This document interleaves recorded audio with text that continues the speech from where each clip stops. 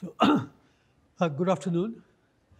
So, when I was preparing my talk on the Saha equation, and I interpreted the invitation to mean that it's going to be a talk on the Saha equation rather than on Meghnad Saha. Yesterday evening, a colleague of mine from IUCAA told me, no, it's a biographical talk on Saha. So I was panicking and I phoned uh, him and he said, no, uh, it is what you want to make it. So I was very glad that I did not go into the biographical part at all, uh, simply because it has been so well covered uh, by the previous speaker. So you see that if I if I just took his biographical part and said that it was on Meghnad Saha rather than Satyendranath Bose, I would be at least half correct. Uh, because the two were there in the same place at the same time, and then they did nearly the same things, they knew the same people. Uh, so it has already been very, very beautifully covered. So um, I just wish to say a few things about Meghnad Saha. Uh, I mean, we all know that he was a great man and a great physicist, and he did much.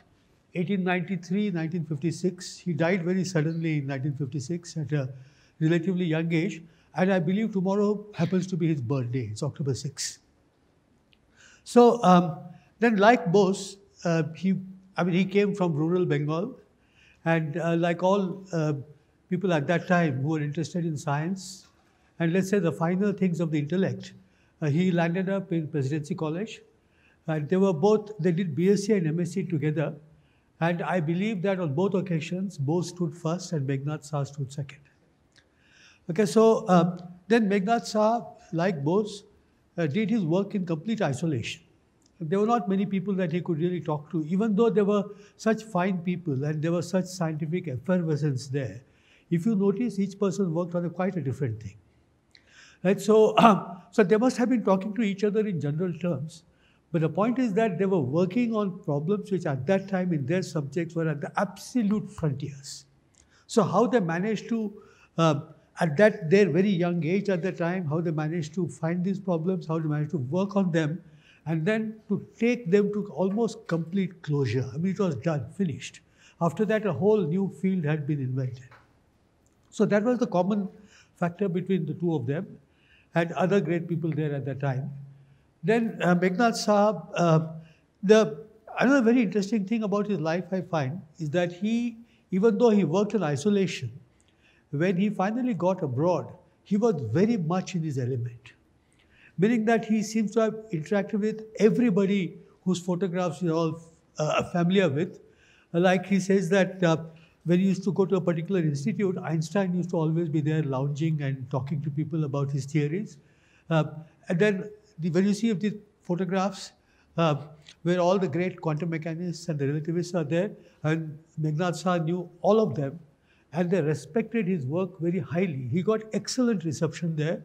Then his work improved. Uh, and everybody began to believe that his work had depended on these interactions even before he did the work. But the interactions started after he did the work. Okay, so that was the very important thing. Now, this is the first time I'm giving this. I'm dependent on uh, these references, uh, which you might find very useful. And the best, of course, are his papers, which are extremely readable. I have not yet read them in detail. Um, I, I intend to do that before my next talk. Right, so here is a, a photograph there uh, from Calcutta University. And then uh, you see these three people who are mentioned uh, today, uh, Satyendranath Bose, uh, C.V. Raman, uh, and Meghnad Saha himself. Uh, just before he set out to go abroad, uh, on the eve of Saha's departure to Europe in 1920. Right? Then, another very interesting thing is that he depended on these books for learning astrophysics. I mean, he knew that astrophysics, he had intuitively decided that astrophysics was very interesting and very important, uh, then books like this, uh, which could be at the popular level at that time, the whole subject was in a very uncertain state. Both astrophysics and physics were developing very rapidly. Astronomical knowledge was just starting to come in, and the overall understanding uh, was very poor in the sense that because atomic physics had not become completely understood, all the interpretations had to be very, very tentative. But if you go deeper into the history, and you find that so many different people uh, who were looking at astronomical data, uh, they, they made conjectures which later were proved to be correct after the discovery of atomic physics. Okay, so this is a time when many clever people were working on it. Um, now, uh, the whole thing started with uh, talking about the sun. Because the sun, obviously, we always forget that the sun is a star. In astronomy, for example, there is a big gap between those who work on the stars and those who work on the sun. Eh, except that the sun itself, is the star, is the closest star to us. And the gap essentially exists because there's overwhelming data which comes from the sun. There are very great many photons which are coming to us from the sun, and the data becomes so overwhelming uh, that stellar people get worried that their physics will all be washed out by the solar people. So here you see a diagram of the sun because uh, people observe these through uh, telescopes. The sun, you don't actually look at it with the telescope, look at the image on the wall. And then they looked at them during uh, eclipses. And then here you see um, the border of the sun, and then that was what was called the chromosphere. Because spectroscopy was coming in vogue at the time, and people could, when we look at the sun ourselves, we know that it's a yellow star. And then uh, it tells you that the temperature at the surface must be about 6,000 degrees Kelvin because uh, uh, people have started understanding the black body spectrum at the time, as was explained to you. Right, so but there were these uh, uh, irregularities there, and it was not known what these are. So these were really early days, meaning that at that time it was not clear whether the sun as a star and other stars, whether they were gaseous in nature or they had some liquid parts or they're solid. Right? So we are talking of real beginning of the understanding. Right? So here is a modern picture, uh, which you see is not so much better than the hand-drawn sketch on the left. So here you see the solar chromosphere coming out, being seen during the eclipse. So normally uh, you see the corona, right? So, but in order to see the corona, the corona is in white light, it's just reflected light. Okay, but the chromosphere the red color that you see can be seen only if you use certain specific filters because the light from there is overwhelmingly red. Right? So then uh, what are the different regions of the sun? It's important to understand this to see how Meghnad Saha's ideas on, uh, on the spectrum of the sun evolved. Because at the center of the sun, you've got the core region where the fusion is going on Right at the center, the temperature is about 20 million Kelvin. And then when you go outwards, the pressure, the temperature, and the density keep dropping. Right? And the sun, a star like the sun, is in hydrostatic equilibrium, um, where the inward pull of gravity is completely balanced by the outward pressure. Right? So the, the pressure is actually isotropic, but because the temperature, temperature gradient, the overall pressure is outwards, and gravity is balanced by pressure.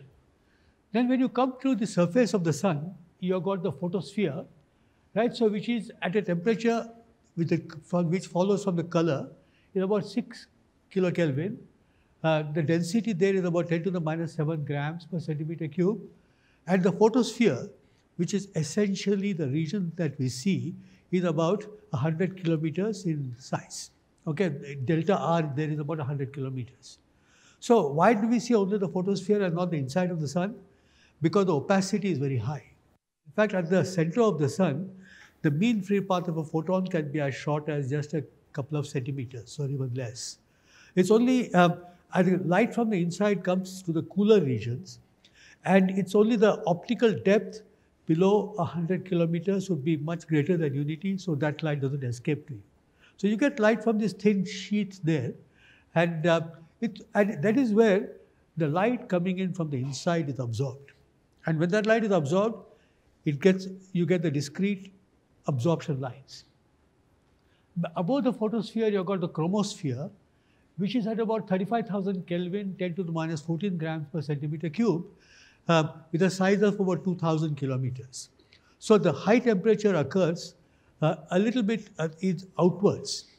And at the, when the junction of the photosphere and the chromosphere, the temperatures would obviously be equal. So now this is something very difficult to understand because hydrostatic equilibrium tells you that as you go outwards, the temperature, then the pressure must keep decreasing. So then why does it keep start increasing? We still don't have the full answer, but it is because of uh, uh, different atomic processes which occur and where the radiation going from the inside provides energy there outside, that you get this inverted temperature gradient.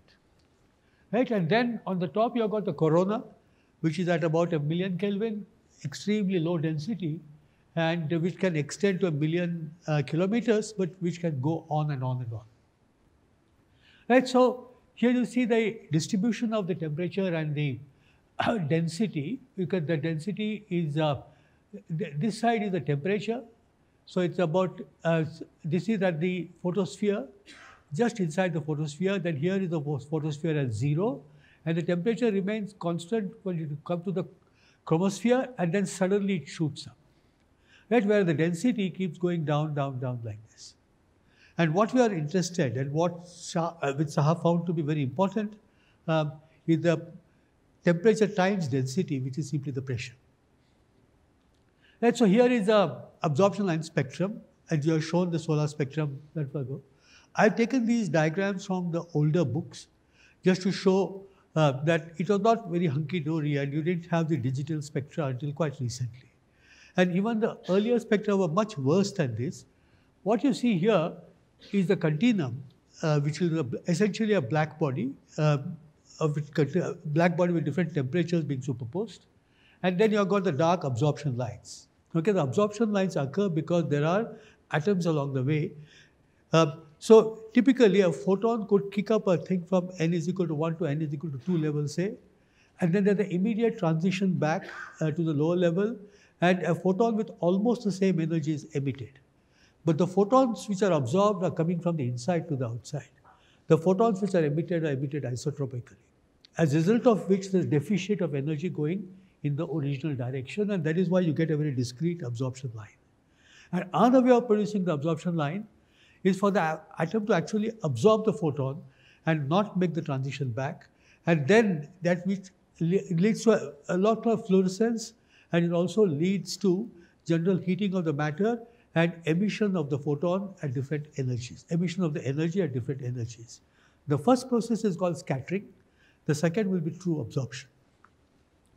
Right, so then, uh, now we come from the solar spectra here uh, to the spectra of stars. Now, these had been obtained, uh, I believe, for the first time in the second half of the 19th century. And then people started obtaining them in large numbers. Uh, in the beginning of the 19th century, they were observing with the eye alone. Uh, then toward the middle of the 19th century, photography was invented. And then photography became better and better as the years passed. And then large numbers of stars, stellar spectra were observed. You, you had atlases with 4,000 stellar spectra and so on. Right, so here is the typical stellar spectrum. And with these letters here, which are, uh, I'll explain these letters later. But you can see that this line, which is called H delta, and here you've got a calcium line. And you see that this line there, it becomes brighter and brighter, and brighter, and then goes away. Right, so as you go along, there's a bewildering number of lines. Um, and the question is whether uh, one could classify them. Because when you start getting data in large quantities, and the first thing to do is to introduce some order into the data, to classify the sources into, into classes and subclasses, so that then you can look for relationships between them. And which is exactly what Darwin did uh, with life on the planet, okay, because he, he classified them and then he came to the theory of evolution.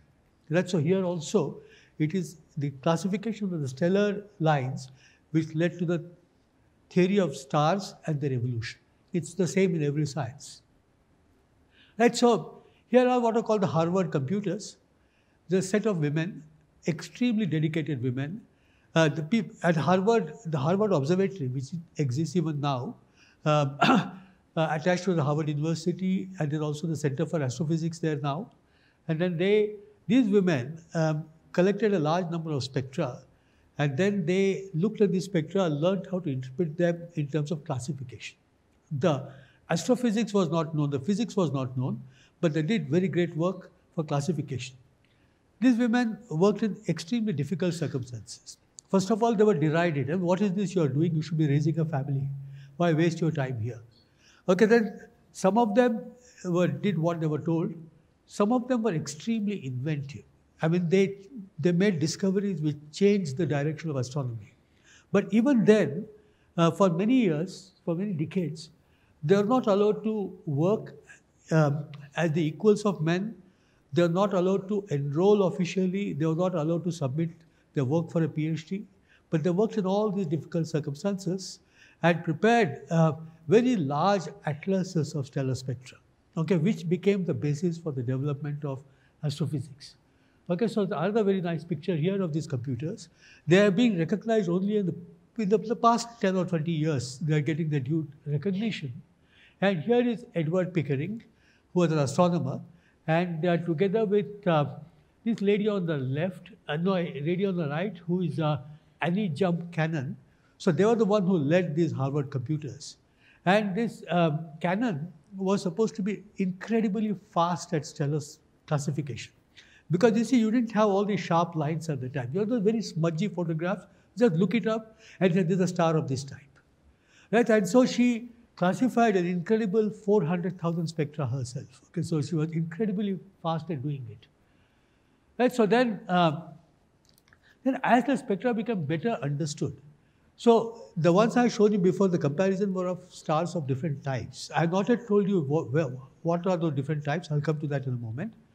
But what happens here is that the spectra of a single kind, meaning that you see that the, the lines are all in the same places, means at the same wavelengths but you see that the nature of the line is changing. Right? So here the line is much thicker and uh, can become, uh, sometimes it become brighter, fainter. It's the nature of the individual lines which changes. So you see that you had a one-dimensional classification, meaning O, B, A, and so on.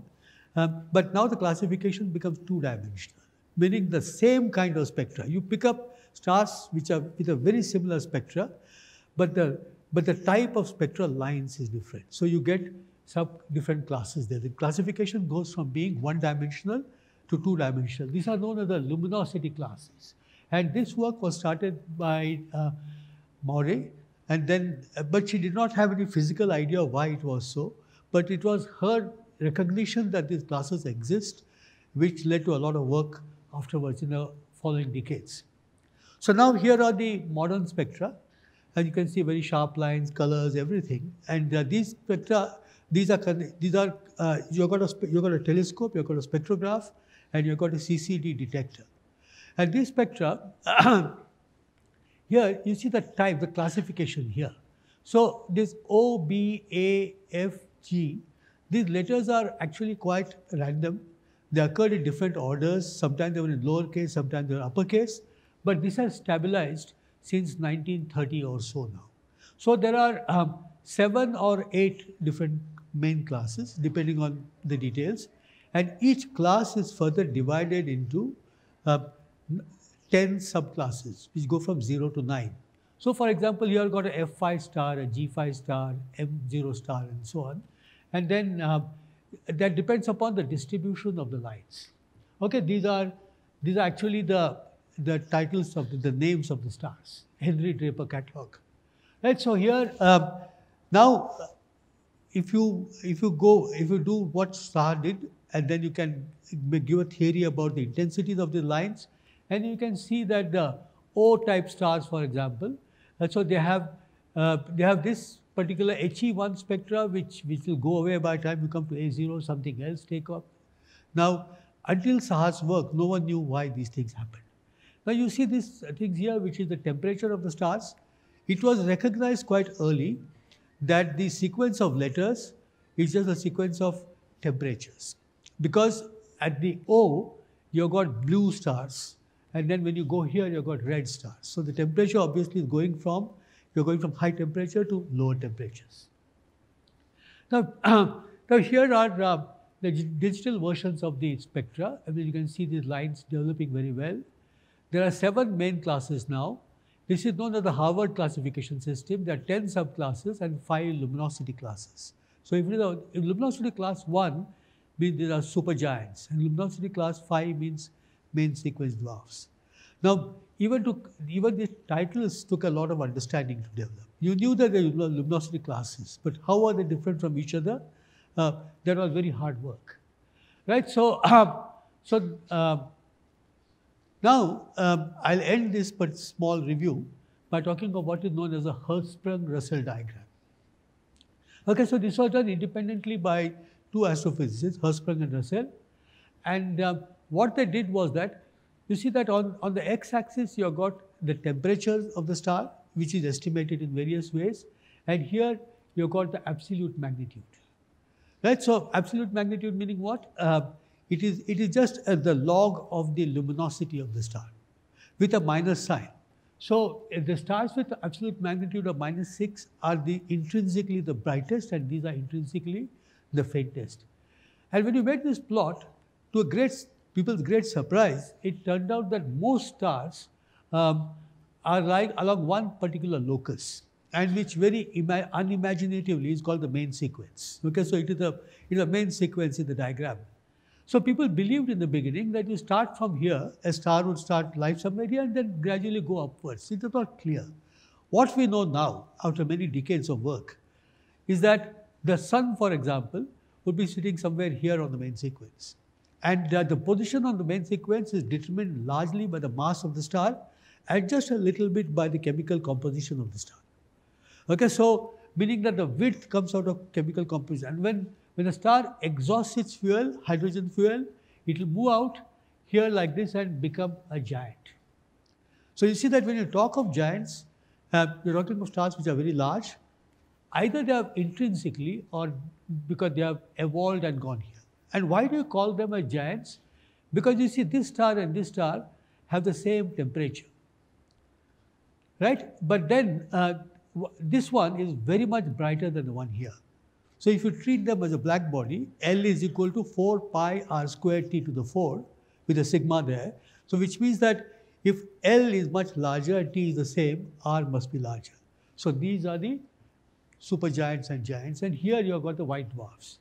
So this is the modern version of the diagram and you can, I mean it's, it's completely trivial to draw diagrams like this. I mean you could do that in five minutes using your mobile phone and this is the uh, position of the sun there.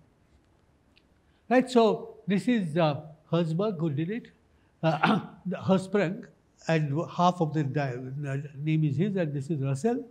And this is somebody called H.K. Sen, and I don't know who that is. I, I, did not get the time to look that up. Okay, uh, so the Saha equation. So now you see that this was the state of art around, around 1920 when Saha started began to think about it. He learnt about it from textbooks and then he learnt about it from some papers. And the question was, how can you describe the spectra? I mean, what determines the spectra? There are a lot of detail that I did not go to. For example, if you look at, uh, you see that the spectra that I showed, uh, they can be compared with standard spectra in the laboratory and therefore you can identify the lights. So you know there's hydrogen, there is helium. In fact, helium was discovered through this kind of work in the solar spectrum. Then there are all things like calcium, potassium, all sorts of things are there. So the question is, um, why are there only certain elements? And it was believed that is because the sun has different composition from the earth. Only some of the, some of the 92 elements that we know on the earth uh, is from the sun, which seemed to be slightly ridiculous because uh, if the earth and the sun were formed through the same processes, then they must have largely the same composition. So that was very unsatisfactory. Secondly, it was being realized that as you go away from the sun, from the photosphere into the chromosphere, uh, you see there things like calcium, which you don't see elsewhere. So is that more calcium there? Now, if that was true that there was more calcium there, then that would have been again wrong dynamically. Because if you take a body which is made up of more massive and less massive particles, then if there is equilibrium, dynamical equilibrium, then the more massive particles would be sinking to the center. Right? Uh, so, and the less massive particles would be left at the top. So then why something like calcium, which is so much heavier than hydrogen, why is it up there? So it was not known. So that was, uh, and then as I said, people are not clear whether part of the star is a liquid or solid and the whole thing is a gas. It was slowly developing. Then um, the Bohr theory was given in 1913. And now we are talking about the spectra which were collected together in about 1918, 1919, at the end of the First World War. So you see that the data was there, the atomic theory was there, and somebody had to combine it all together. And it was that very important step which was taken by Meghnad Saha. So you see, uh, had been doing his calculations and then he wrote these four papers there. The elements in the, in the sun, ionization in the solar chromosphere, which is what I've been talking about, then the temperature radiation of gases. I mean, I've not known how temperature will affect the movement of these things and what will happen, will it bring about ionization. And then he summarized it all together on the physical theory of stellar spectra. So he apparently wrote this uh, paper uh, and submitted it to the Astrophysical Journal, and uh, it was rejected. they said that no, we won't publish it. There was a thing about um, not being able to pay. But uh, the, the thing which I've read about is that the editor rejected it. And obviously, no reason was given for it. And then um, many years later, and after Saha became very famous for exactly the same work which had been rejected, uh, the new editor found it in a pile of papers uh, which the old editor had put in a box. Some of those papers were not good papers, but several of those papers had all led to very, very important work. He had just rejected them, put them in the box, and forgotten them. But when he when he went when Saha went abroad, uh, then he was helped uh, uh, to polish up some of the papers and the concepts, and then he this sort of summary paper where all the calculations are done in the Proceedings of Royal Society in 1921. All these papers together is about 25 pages. Right? So they're, they're quite easy and very readable papers. So you must go and take a look at them sometime. That is how most great work is. So um, you may not feel like reading this uh, thing here, but there are very important thoughts of Saha, which says that there's no reason why the sun, in the sun, certain elements should be favored to the exclusion of others. Because you don't see in the spectra everything that you see on the earth. So are these absent from the sun? Saha said, no, they should not be. And therefore, there must be something in the nature of the ambient gases there which prevent from these lines being emitted. Right? And then he said that the view is urged in the present paper that different elements in the Fraunhofer spectrum may be regarded as arising from various responses of these elements with regard to the stimulus existing in the sun. Then uh, the stimulus existing in the sun is the same for all elements, meaning that the temperature is about 7500 Kelvin. That in the photosphere. So if the, if the if all the elements are present and if the stimulus is the same, uh, then why don't you see all of them as producing their own absorption lines? Because he said that, but owing to different internal structure, he said that the atoms must have different internal structures which prevents them from absorbing these lines. So these are all uh, extremely important and extremely original thoughts which were made by a 26-year-old person sitting in Calcutta based on theories which had just then been invented. Okay, so, so it was a very uh, remarkable uh, talent which was required. So now the Saha equation, if you look at the derivation, it is very much based on uh, ideas of chemistry because you, you take certain reactions uh, which happen. So you've got hydrogen and H2 and CO2 interacting together, you carbon monoxide and let's say water. And there's some energy which either comes in or has to go out. That's what Saha interpreted what was happening there in the sun's atmosphere in terms of such reactions. But at the present time, the derivation that we can give is very straightforward. I mean, like if this problem is stated, then a competent graduate student should be able to solve it in a couple of days. So it's a very, very straightforward calculation. So let's just take a quick look at how this goes without going into the details. So supposing I got a gas in thermodynamic equilibrium, meaning that there's a gas with a fixed temperature T. So now if, uh, if N0 is the ground state, and then let us say NS is some upper state. It, you are raised, uh, so you've got the atom in the ground state or ground upper level of energy. Then what's the ratio of Ns to N0 in equilibrium? Because you see that there will be some stimulus when some energy is absorbed, which sends the atom into the higher energy state, because an electron can go from n is equal to 1 to n is equal to 2 by absorbing a photon, but it will re-emit the photon and come down there. And there will be a certain number going in the forward direction and some certain number going in the backward direction. And then there will be thermal equilibrium right? So, and in the equilibrium, you have what is known as the Boltzmann distribution. So, Ns upon N0 is equal to Gs upon G0. This is the degeneracy factor. What's the degenerate? Spin up, spin down like that. And e to the, the difference of an energy divided by kT. Now you can write n, which is the sum of all possible states, ground 1, 2, 3, up to infinity, all states, and then you sum them together, and this is known as the partition function. So how can we write ns by n? ns by n is equal to gs by up, the up is the partition function into this Boltzmann factor. Right? So now many of you, if not all, will be completely familiar with this Boltzmann relation. Right? So now, now in, in, in the previous slide, I showed you an atom in a ground state and atom in higher states. But now Saha said, let us consider the ionization also as a similar process. Meaning that by then he was, he was aware of the concept of ionization, which is not true with all the people who did work before him.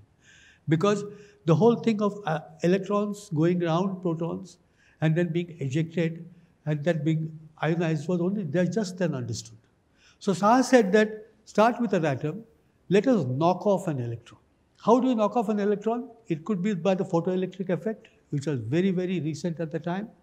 Or it could be because two atoms binding into each other at a high temperature, the large kinetic energy, and the kinetic energy knocks off an electron.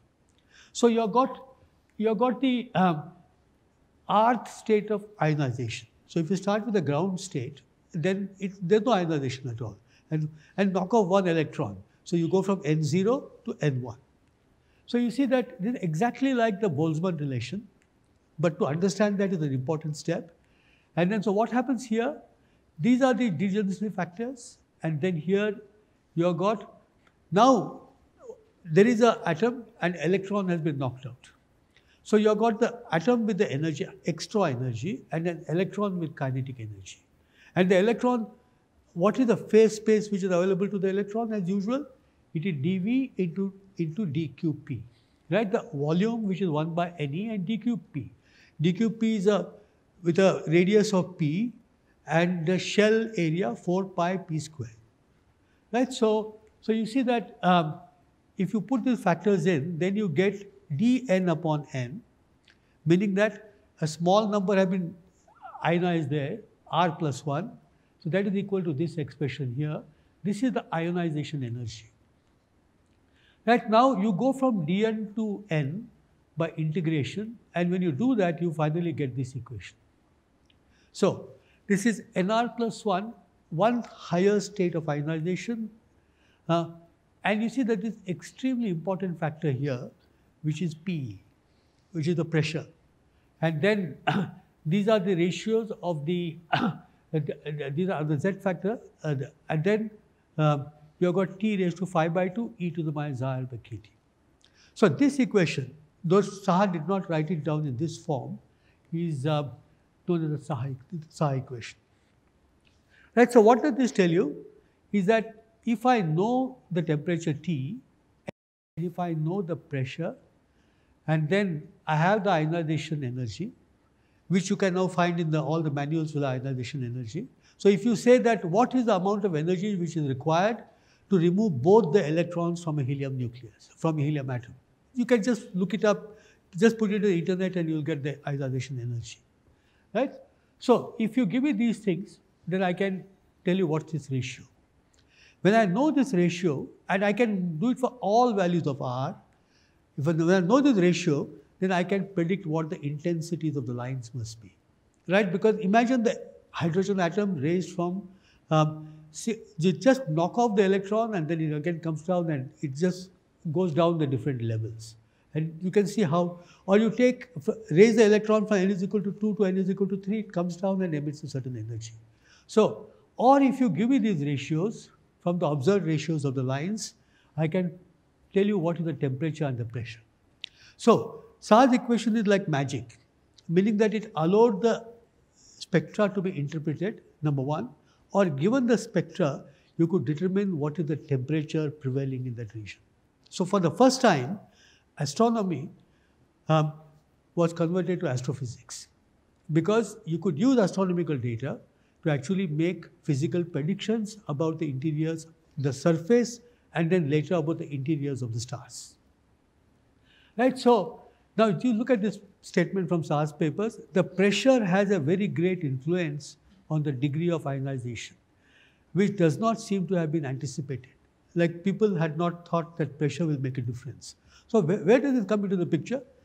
Because Saha analyzed the emission from calcium because it is very obvious in the in the uh, in the chromosphere during eclipses, and then he said that look, there's there's a lot of calcium coming in from high up in the chromosphere. So uh, where does it come from? I mean, does it mean that the temperature is so high? But then if the temperature is so high, it must be increasing upwards, which he was not familiar with. He said, no, the, the situation is that the pressure is lower, right? So because if the pressure is lower, put the pressure in the denominator.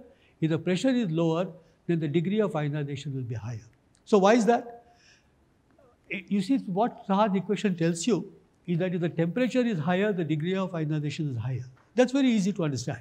Because as the temperature increases, the energies of the particles increase. So the particle can bang into each other more forcefully, so you will have greater ionization.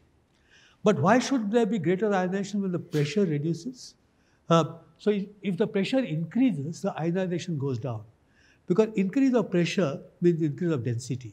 Increase of density means decrease of the interparticle distance because you're packing more and more particles into the same volume. And that would mean that the greater probability of their banging into each other.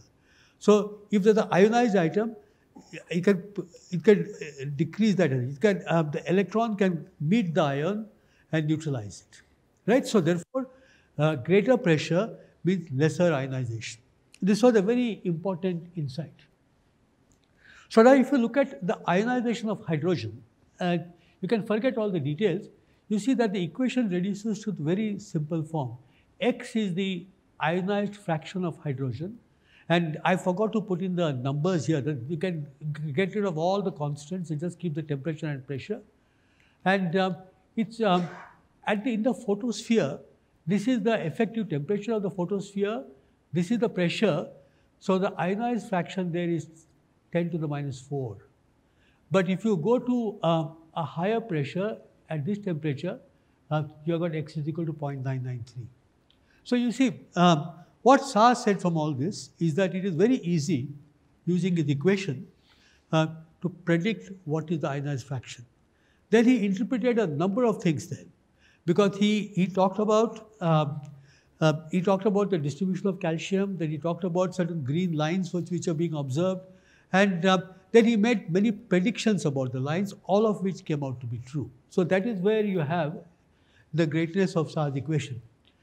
Interestingly, and this thing discussed in various papers, including the review article by Arnab Rai Choudhuri, um, is that Eggert, um, a few years before Saha, wrote on exactly the same equation, except that he has taken logs, Eggert. So you see that t raised to 2.5 becomes 2.5 log t when you take logs right? But then um, he, he could limit it only for hydrogen. He did not know how to calculate these functions, uh, which we are called chi-r, um, and then he could not therefore take the interpretation forward. Then another person who also had a similar equation, and he acknowledged in Saha's paper, okay, because Saha is starting with Eggert's equation, then he generalizes it further. Now here uh, you'll see um, uh, Frederick Lindemann and then this is his equation here, which is also uh, very similar. Right, so now, um, so what have we learned here is that we have started, uh, we started with stellar spectra, and then we found these very dedicated uh, computers in Harvard um, who did all the stellar spectra um, and who collected, and the Henry Draper catalog, for example, I mean, I think that it has got um, a half a million stars and 400,000 of which are classified by just one person. And then later on, you have the Morgan-Keenan classification, which told you about the difference in luminosities. And it is this data which became very critical for uh, Saha thinking of his equation, deriving his equation, and then applying it to the interpretation of all the spectra. Uh, now, uh, I, I decided at this point, I could have talked about the Saha equation in cosmology, and then uh, there's a lot of discussion about uh, how Saha's equation is very important in physical chemistry and so on. Uh, but I thought that I'll take a different tack, which may be very interesting to some people.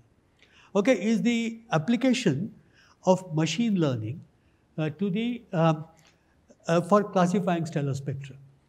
Because you see that those women in Harvard did a very great job with half a million spectra. But now we could easily get 100 billion stars. I mean, you can have catalogs. You can, if you go to, to the Sloan Digital Sky Survey, um, you've got hundreds of millions of stars in it. And then there are bigger and bigger catalogs coming in, uh, which will produce a very vast amounts of data. So um, human classification would become very, very difficult there. And therefore, you have to depend upon uh, uh, things like machine learning uh, to do the classification for you. Now, this has been recognized uh, more than 20 years ago, and there have been various attempts at machine learning. And recently, my group and I, I mean, I've got a lot of younger people working with me, and then, uh, so we are applying deep learning uh, to various uh, problems, including problems in astronomy, problems in biology. So I thought it may be interesting for me uh, to uh, tell you about how that is done for the classification of stellar spectra. The next step, of course, would be to use uh, those classified spectra to do the kind of work which Saha did. And I think that is a long way to go before deep learning can do that. Okay. So you still need a brain like Saha to do the interpretation. Right, so uh, now the general question which an astronomer or a biologist has to answer is that how does one use large data sets? Because it's very easy to get large data sets. So here, what do you do with large data sets? We would like to find patterns, correlations, classes, outliers, and meaning in the data. Right? Meaning that, look, um, so you see, classes is what the stellar classification was about. The patterns tells you some, and correlation, for example, was with the HR diagram. And then when you talk about outliers, is that there were always these objects which couldn't be classified. Because if I classify, if I got a, a, million objects of one kind, it doesn't help me to get two million objects. What I want to do is to look for the outliers. So how does one do this? In a systematic way. So first of all, you need domain knowledge. You need to know your astronomy. You need to know your biology. And then you need to combine, you have very strong background in mathematics and statistics uh, to do what is called data analytics because you require visualization, you require data mining, machine learning, and now which has morphed into deep learning. Right? So, so now, what does one use machine learning for? So you won't find any reference to astronomy or biology here. There are many more basic problems that you want to do. Is character recognition, for example, and then um, facial recognition, which is becoming very notorious now, and then uh, and then you got a more general image recognition. We should make an input, for example, to autonomous driving, right? Meaning that imagine going in a car and then you have to rapidly analyze the scene that you are seeing Because there could be other cars there, there could be people walking, there could be cows, there could be buffaloes, anything at all. And you need to constantly monitor the picture uh, very quickly, classify it and say, compare it with what your knowledge data bank and decide what to do at that point. Right? So people always claim that they are very close to commercial autonomous driving. Right, so what is the general, uh, I'm sorry, some of you may be completely familiar with this, but others may not. So I thought I'll give a quick introduction. So how do you address this problem with machine learning? Typically, I mean, there are many, many different kinds of problems that you can do, but typically you'll have a lot of data with labels. So in terms of my discussion today, what do I mean data with labels? I got this large catalog from Harvard where there is spectra and each spectrum um, has been classified, let's say. Okay, so I know uh, a particular kind of star can have a particular kind of spectrum. Okay, so then um, now what I need to do is to teach a machine. Uh, I give the machine the data along with the labels and the machine learns how that was classified and looks for internal relationship. So then the idea will be that I have a trained model. Okay, so uh, then uh, these are, I'm sorry, these are wrong here. I got a trained model and then I test it with further data and then I open it out, meaning somebody brings a spectrum, puts it into the program and immediately get what is the stellar type, right? So now, why is it called machine learning and not computer learning? That is because in the early days of machine learning, in the 1950s and 60s, people actually constructed very large machines which did the job. Okay, because at that time they used valves, for example, And then there are very large computing machines which actually did all this, where now it would be a simple software program. Right, so now let us consider a very basic uh, problem here, uh, which we want to solve with machine learning. So what happens here is that uh, you have, uh, let us say that this is a two-dimensional space. I got two coordinates x1 and x2, and the red ones, the color has no meaning. These are these are one set of points, the other set of points. So this is my data. So now, if you give me a new object with x1 and x2, I should be able to tell you whether it is on this side or that side. Okay, I, I need an algorithm for that. So how do I get the algorithm? It's very simple. You can just put a straight line there. And so anything which is to the right of the line is blue and anything which is to the left of the line is red. As simple as that. So how do you do that? You have got this um, normal here and then this will be the equation of the line with a bias term built into it, equation of the line. So give me x1, x2. If w dot x is greater than 0, uh, then it is of this side, w dot x is less than 0, it is to the left of the line. Right? So all that I need to do is to give you w1, w2 and w0. So then I give you the equation of the line. And you can just put the line there, there's no problem. Right? So but now how do you achieve it through uh, what is known as the perceptron training? Is that in general, you've got a device here which gets n inputs right? Rather than x1, x2, I got n inputs, n dimensional space now. And it comes in here and you just make this sum. And then you say that if it is greater than 0, then it is one kind, if it is less than 0, it is the other kind. Right? So you just need to write a computer program which should be extremely easy. So how would you develop this kind of a program? Is that um, you start with some arbitrary values of w, test them against the known objects, construct an error function. This is the uh, this is the observed number, and this is the real number, and this is the number which you get for arbitrary values of w. And then this error has got to be minimized by following an algorithm. So you you have got test values of w. You put all your training sample in, see what prediction you get, then go on changing your w until you you get the right predictions. So if you do that, so you see that a a computer program has been written to do that, and it finds this particular line. Clearly, the solution is not unique because the line could be up or down, it could be tilted a little. It doesn't matter. We have found one solution. So now, now we make the problem more complicated. And what do we have here? We have got these three groups of particles. No single line can separate them. So you need. Um, so we had we had just one single perceptron. So here we have got these are the input values these are the output values and this is the hidden layer of perceptron. And that allows you to put boundaries like this. So you see that uh, these are lines which separate them. Into, so now you don't get equations. What you do is that you get values of W.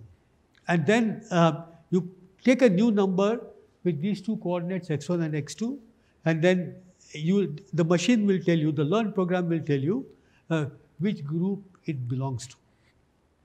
So now supposing I give you this set of points, you can't separate them by a straight line. So what you require is a curved line like this. Right? So uh, then how do you do that? Because the perceptrons I showed you so far give you a linear output, which will only give you straight lines. But now you want a curvature here. And you do that by making the output non-linear because you have to introduce non-linearity into it. And you see that this non-linearity which you introduce into it, um, so you have got non-linear functions as the output instead of just 0 and 1. The very simple non-linear function, this is called a sigmoid function, and uh, or you can have a tan hyperbolic. So why do you have functions like this? Because a large uh, thing in z is being compressed to just minus 1 to 1 Or you can have very simple non-linearity like a function which is, is called a ReLU function, which is 0 and suddenly becomes, it, it becomes linear like this. So the non-linearity comes in at only one point. So if you build a perceptron with a non-linear thing and train it, then a trained percept, the boundary will look like this. Now you must understand the critical difference between this one and the linear one. In the linear one, the solution was obvious to us. Okay, that I could always start, I could, instead of doing machine learning, I could start with a straight line and get the best fitting straight line. But here, I don't know what is the boundary. The boundary can be extremely complicated. I don't need to have the boundary. Once the problem is done, I will not know the equation of the boundary. All that I will have is a program with given values of x1 and x2 allow me to do the classification. So that is why it is called artificial intelligence, meaning that the whole circuit is training itself.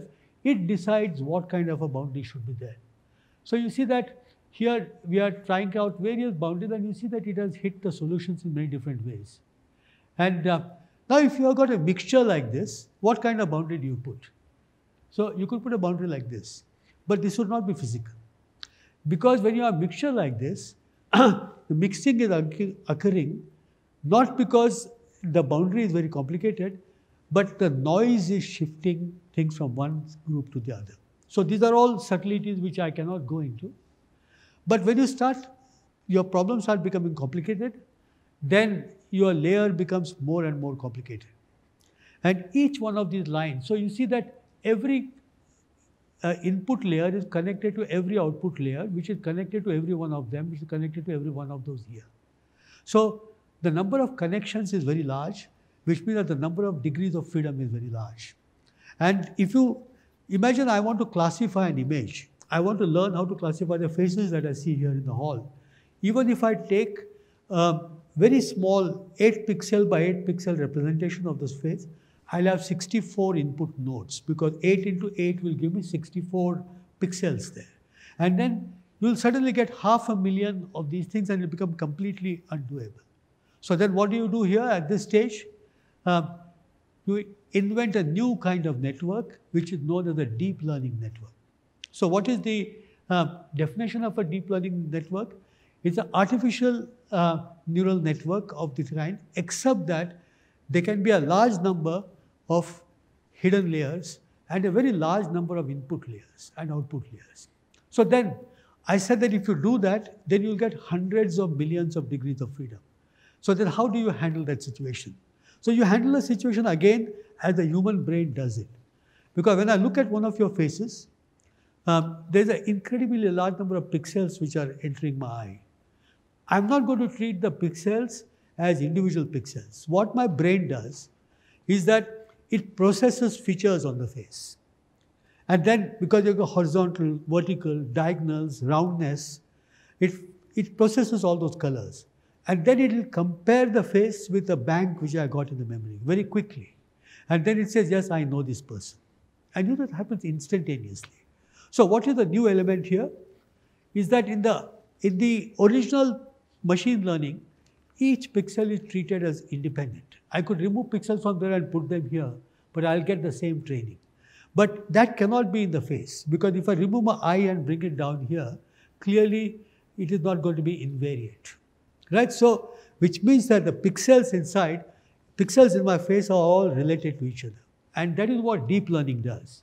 What deep learning does is that, exactly like our brain, it takes convolutional filters meaning that it will take filters uh, which will allow only verticals to pass through, filters which are horizontals to pass through, Fil uh, filters which allow a certain scale to pass through, right? And what is the beauty? In that machine learning, I told you that I don't have to input the shape of the surface that I want to fit.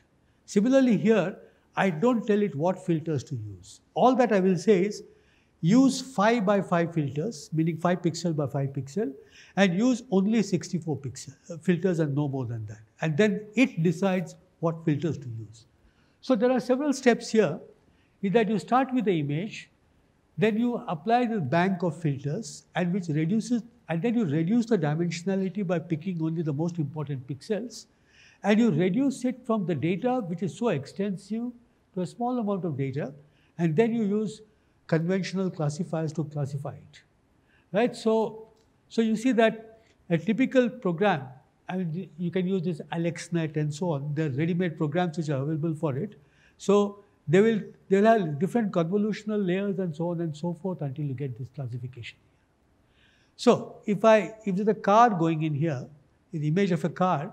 So you see that all these filters are just looking at different features in the car. And finally, it will say that what is an input is a car with this probability, a ship with this probability, and a horse with this probability. Right? So, whereas if it is a real horse, then this probability will go up and this will go down. And that is how you recognize surfaces. So, but why am I taking you through all this story? Because I'm coming back exactly the same slide that I started with, meaning spectral classification of stars. Right? So, here are the spectra, and I want to teach a deep learning network to classify it. What is the problem there? There are two problems uh, which can arise. One is that, um, believe it or not, but the number of stars, the number of stellar spectra with very accurate classifications are very few. And if you go through all the tables which are available, there are just a few thousand stars whose spectra has been classified very, very accurately, number one. Number two um, is that whereas in deep learning, because of the depth of the network, you require typically 30, 40, 50,000 training samples. We're going to get 2,000. Now, when you've got a two-dimensional image, like a face, first of all, you collect a lot of faces. What you can also do, or look at a galaxy, supposing got pictures of galaxy. I can take one galaxy, I can rotate it and use it, rotate it. This is what called data augmentation. So here we don't have the luxury of rotating the data because it is just one dimensional. And then what you do, therefore, is something which is extremely clever. You use what is known as an autoencoder. So you see that I got a spectrum. It can either be a spectrum where wavelength against intensity, or it can be a time series, meaning that you see, so you've got those programs where as soon as the song goes up, this tell you what where the song coming from. It can tell you who sung the song, which movie is it for, everything, all the details. It is recognizing because the song is a time series of data. How much time do I have? 10 minutes? Yeah. Yeah. yeah. So uh, is a time, a, a song, for example, is just a pattern of notes. So it's a time series. Right? So, or if I look at an object which is varying in intensity, what I get is a time series, which is one-dimensional data, exactly like a spectrum. So, what, how do the autoencoders work? You see, I told you that I got, um, uh, while I got very large numbers of spectra, data on millions of spectra, classified spectra are just a few thousand. What I do is, um, I, I do something which is called uh, unsupervised learning. Unsupervised learning meaning what? I take all the spectra um, and then I don't know what type they are. There's no classification available. So supposing I put in a spectrum here and uh, analyzing using deep learning techniques, the one-dimensional one, when it comes here, it has got a latent space representation, meaning that the whole spectrum um, has been encoded so that the dimensionality has been reduced very much. Now, I just reverse this one, meaning that I take this um, whole set and reverse it exactly. So then I encode it, then I decode it. So what the output here will be like the original spectrum. Right? So I put in a spectrum and then I look at the output and compare the input and the output. And then I go on varying my parameters. I go on training the network until the output becomes exactly equal to the input. Right? So you say what has been gained there? Because um, if it is one spectrum, I can exactly reproduce it. But now I throw 50,000 stellar spectra at it. So what it does is that it will not be able to exactly reproduce each spectrum, but it will give you the optimal solution. Okay, meaning that it gives you the best fit solution where each spectrum is reproduced to some degree. Right? So, what has happened then is that this whole thing has been trained to recognize those kind of spectra. Now, having adjusted those weights, I take the 2000 spectra which I have, for which I know the classes, remove this layer, put a classification layer there and train it to classify. And when I do that, I'm ready. Meaning that if you, just like the people in Harvard did it, um, if, I, if you give me a spectrum, I can just pass it through my known network and tell you that it's the star of a K5 type, for example. Right? So, so that has been done here. And then, uh, so you see that first train an autoencoder with 60,000 stellar spectra, remove the decoding layer, append a fully connected classifier to the decoding layer, train this model with label spectra, and with this supervised training, the encoding layers are fine-tuned, and it becomes the classifier is ready. So this is the details, technical details of the classifier. And you see what has been done here is that there is a training set and a test set. And here uh, I have taken um, the, the actually, this is the expected class because I got a test set and this is the predicted class. You see that they lie very well along a straight line. That is not enough. What is important is what is this error that you see. And this error, I told you that there are seven main classes and 10 subclasses. So the errors, uh, typically, there are 70 subclasses, then the error is only about 0.8 subclass. Okay, so the error which we are approaching is actually the error which uh, uh, human experts would approach already. Now, what happened was that uh, we did all this work over a period of time, and then we submitted the paper for refereeing to a journal, Monthly Notices, which is one of the journals in astronomy. And what happened was that when it was, it turned out that the editor who first sees that paper was himself an expert on this. And then he sent it to his friend for refereeing, who is probably one of the great experts on human classification. So he says that what is all this nonsense that you are doing? Okay. So humans are so good at it. You people obviously not as good at it. And then, then we had a long battle with him uh, until just last week he wrote back to us. I mean, the editor wrote back saying that all that you are saying has been accepted. Okay, so it took a great deal of alteration of our interpretation of what the machines are doing to convince the referee. But in the process, we probably are already approaching human uh, expertise level. So this is the luminosity class. So what you do when you, you see that anything which is along the diagonal is the correct classification, off diagonal wrong classification. So you see that the wrong classification are very few actually. And most of the classes are along the diagonal and then you, can, you are, what you have to do is that you have to, you have to compare different possibilities, different kinds of classifiers, machine learning, deep learning, the whole thing, try random forest. It's all been done. These are all the technical details. And uh, compare it with previous work and uh, luminosity classification. And then we come to the most interesting part, is that everything is classified well, then there's no fun left. But then a certain number are not classified properly. Some of them are wrong because the data is not good. There'll be some problem with the data taking, and we can do all that.